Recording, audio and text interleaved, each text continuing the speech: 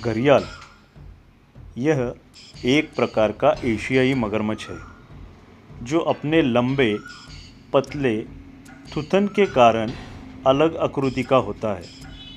मगरमच्छ सरीसृपों का एक समूह है, जिसमें मगरमच्छ, घड़ियाल और केमन जैसे आदि मगरमच्छ शामिल है। भारत में मगरमच्छों की तीन प्रजातियाँ हैं। जिसमें ताज़ा पानी का मगरमच्छ, खारा पानी का मगरमच्छ और घरियाल शामिल है। भारत में वन्य जीव संरक्षण अधिनियम 1972 की अनुसूची में इस मगरमच्छों को शेड्यूल फ़र्स्ट की सूची में रखा गया है। घरियाल भारत के उत्तरी भागों में यमुना की सहायक नदियाँ या चंबल की नदियों में पाया जाता है। इनका माध्यमिक आवास उत्तर प्रदेश में मौजूद घाघरा, गंडक नदी या गिरवा नदी है।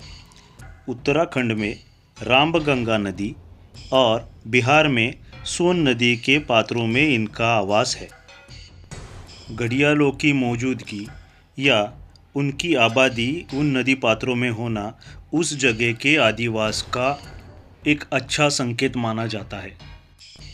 घड़ियाल अन्य मगर प्रजाति के मुकाबले स्वभाव से शांत होती है। वो इंसानों पे हमला नहीं करती। अन्य मगरों के मुकाबले यह शर्मीली स्वभाव की है। इंसानों की मौजूदगी अगर होती है तो यह तुरंत वहाँ से दूर निकल जाती है।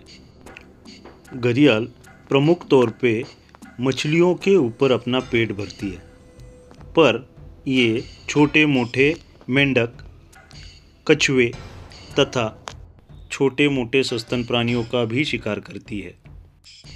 इनकी अधिकतम लंबाई 15 फीट तक या उससे भी ज़्यादा हो सकती है।